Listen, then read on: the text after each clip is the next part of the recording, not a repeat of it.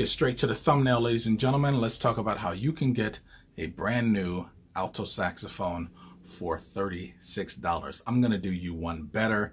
I'm going to show you how you can actually make a profit off of what's going on right now. So I looked at the cheapest saxophone that's on Amazon and it cost $186. It's made by this company called Glory. And I figured, you know what? Why don't I try this thing just to see what's what? But a friend of mine wanted to get a saxophone. He has less than stellar credit, no credit card. So I was like, look, I'll buy something. If it's cool, then you just pay me for it and I'll give it to you. If not, then I'll just send it back, get my money back. No harm, no foul. He wanted the best version of the cheapest saxophone that's there. I'm assuming that the differences are this case and uh, the finish that's on the saxophone. So more than likely it's just cosmetic in this price range anyway. However, let's go back to the $186 saxophone. If you open up an Amazon credit card, they give you 150 bucks. So you wind up getting a brand new saxophone for $36 and 11 cents. And if I was smart, if I had half a brain, I would have just done that and just sold it to this dude for $240. Because the one that he wants, the fanciest version of the cheapest saxophone, costs $240. I make myself a nice profit. You can do that also. In this video, I'm going to review the $240 saxophone. I'm assuming that the difference is mostly cosmetic in this price range anyway, and this case that you get. So the $240 minus the 150 leaves me with a $90 saxophone that I'm going to review for you guys right now. This thing looks amazing, and let's see if I'm going to either keep it myself, sell it to this guy, or send it back to Amazon. For you tenor players out there, I finally have my tenor saxophone Altissimo book that's available as a digital purchase. I will put a link in the description below. Let's get to it.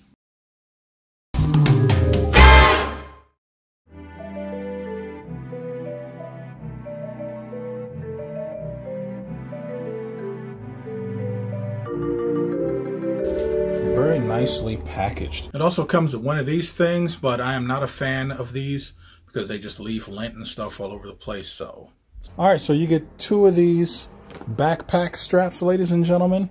You get 10 reeds, a flock of geese, a screwdriver, some tweezers, a neck strap, white gloves, cork grease, and a polishing cloth. And here you get some mouthpiece cushions.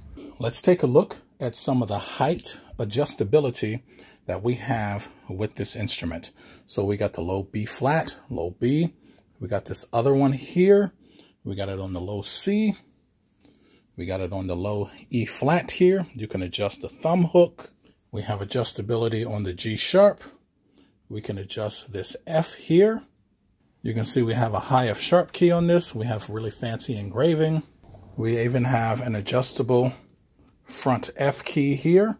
You can see how high the right hand stack is off of the saxophone. You can also see how freakishly high these keys are. This one is a little crooked, but this is like way, way high. You can see how thick these pads are, and they're already sticking and warping around the tone holes, which is terrible and very expensive and kind of gives this saxophone a failing grade. But as far as cosmetically, this thing definitely gets an A minus. It looks beautiful and it functions as an actual saxophone.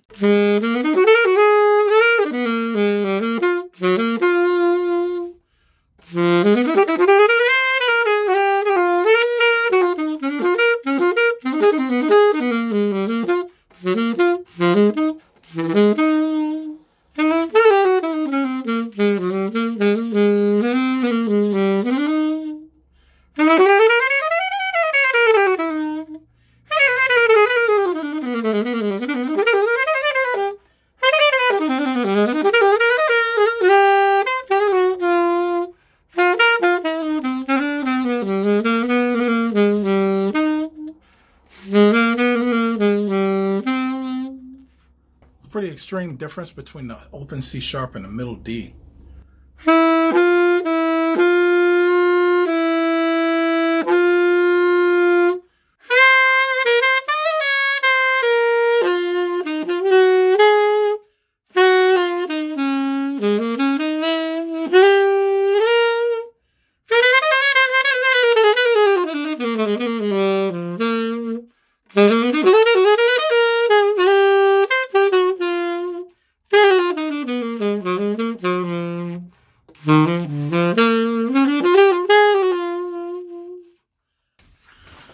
going to give this thing a bunch of different ratings.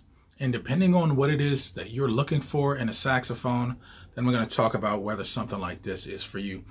But what this instrument does well, it does very well.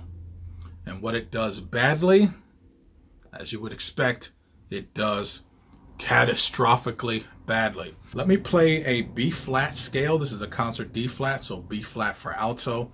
I have a tuner here on the side. I'm going to go through and I'm going to pretty much try and figure out where every note is.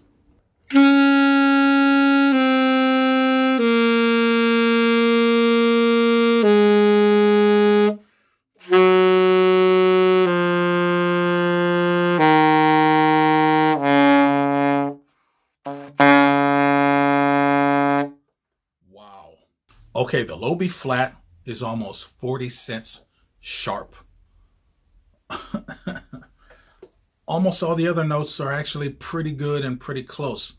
I noticed that it gets really, really stuffy down at the bottom, more so than other instruments that are below a $1,000. Okay, uh, let's try a B scale.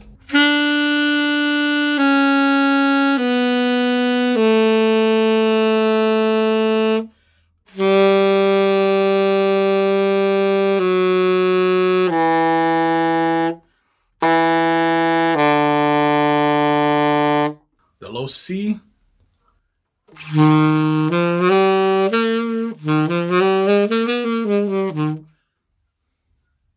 The low C is really nice. It's definitely workable, but the C sharp, the low B, and the low B flat is really one of the big reasons why this thing is stuck at a C minus. The middle is really good. It's really good. I imagine if you're a weekend warrior, you might want to seriously consider something like this. The biggest issue is ultimately going to be how fast you make progress on saxophone, which is going to be very fast because it's a very easy instrument to get started with. So, in my opinion, very quickly, you're going to outgrow this instrument. Then you have to ask yourself, is it worth the $240? At $36, through $90 this thing, it's hard to argue against it at that price. And at the very least, it makes for a nice decorative ornament. And you might think I'm being funny by saying that, but I'm not. This thing's best attribute is the way that it looks. It looks really good. And if you can pick up a decorative ornament for $40 or less to $90, you probably have a vase or vase in your house, it costs more than that. And this thing actually functions in what it's intended to do. It's actually pretty good. It could be so much better, but so far I'm still riding at the whole C minus thing. This is advertised as a professional saxophone, which it absolutely positively is not. And if I'm going to compare it as a professional saxophone, then it definitely gets an F minus F minus completely. One of the biggest issues are these side keys here. They are way high. This E here, I keep hitting the side C thinking it's this key. The ergonomics, other than that, actually feel okay enough. The neck requires a phenomenal amount of effort to actually get on the saxophone. So for me, I always tell people 1,000 to $2,000 is really where you want to start when it comes to a saxophone. Maybe you don't have that money right now. When you math it up over four years, you're looking at $21 a month to $41 a month, monthly over four years. That's really affordable for a saxophone, especially when it's going to dare to call itself a professional. Plus, this thing is definitely missing the research and development that goes into making sure that those notes aren't doing what they're doing and making sure that these side keys aren't in such a horrible position. I mean, it makes it, it it's just, it's awful, the side keys. Okay, well, let me play a little bit more. So I like to give the manufacturers the benefit of the doubt. I don't work for this company. I'm not endorsed. They did not give me this for free so I can make a video.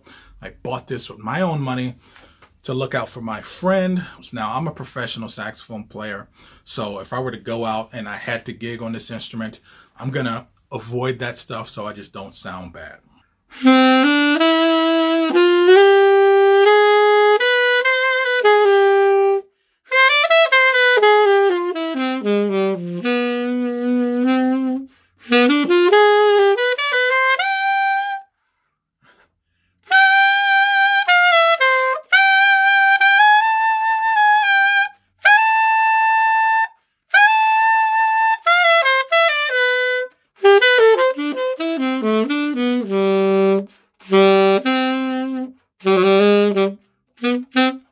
Okay, so as a follow-up, ladies and gentlemen, my overall grade for this thing is a C minus. I mean, it's definitely a very cool looking saxophone. It's definitely very capable. What it does well, it does very well, but its problems ultimately are going to wind up costing you more money than what this thing is worth.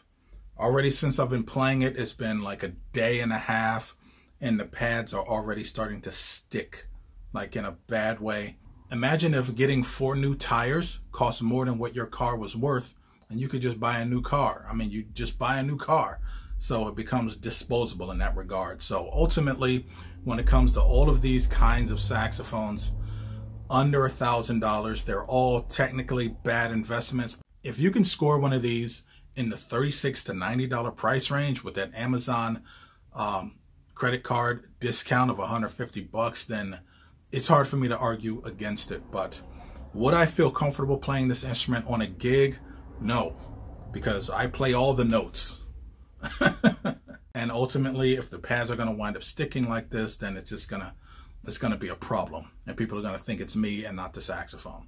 Okay, so I'm going to have this for at least a couple weeks I think until I find out what my friend really wants to do, I don't recommend that he actually get the saxophone.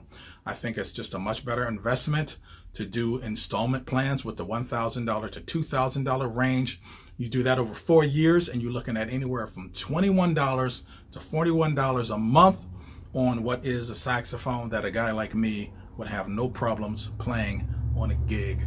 Okay, and plus it's the kind of saxophone that young kids beginners people can grow into and have for the rest of their life and be able to sell it for what you paid for it because instruments like those retain their value. This, unfortunately, is disposable. I love the way this thing looks. It's fun to manipulate this thing. okay, well, let me play a little bit more. So I like to give the manufacturers the benefit of the doubt.